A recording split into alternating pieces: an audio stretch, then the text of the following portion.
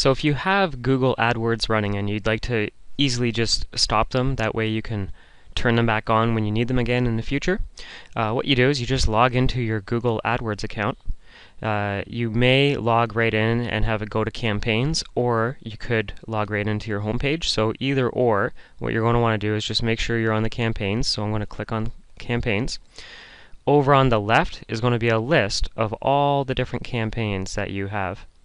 So in this area, you'll see there's labels. So there's campaign, budget, status. Right beside campaign is an arrow, and if you click on that, it's going to show you all the campaigns you don't have running. And then when you click it again, it'll show you all the ones that you do have uh, running, and they're labeled as being green. So if you don't want the ads to run anymore, you just click on the arrow and hit pause or remove. I usually pause mine, that way if I need it in the future, I can just enable it again. So for example, if you have your ads running and you're going away on a holiday, and you don't want to generate leads because you won't be able to follow up with them, while you're away, you can pause it, and then when you get back, you can enable it. So that's how easy it is for you to stop paying for Google Ads when you don't need to be.